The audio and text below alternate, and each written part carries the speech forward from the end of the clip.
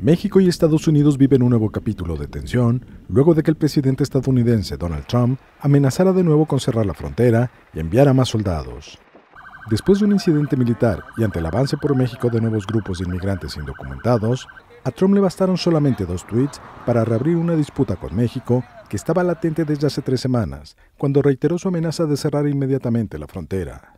Ante las amenazas de Trump, el presidente mexicano Andrés Manuel López Obrador ha insistido en que su país no caerá en ninguna provocación ni peleará con el gobierno de Estados Unidos. Nosotros eh, no vamos a caer en ninguna provocación. Le digo al presidente Donald Trump que nosotros queremos mantener una relación respetuosa y de amistad. Por su parte, la Cancillería mexicana informó que el incidente con los militares se debió a que en esa zona los límites en la frontera no resultan claros por su geografía, y subrayó que esos hechos son algo común y no tienen consecuencias para ambos gobiernos.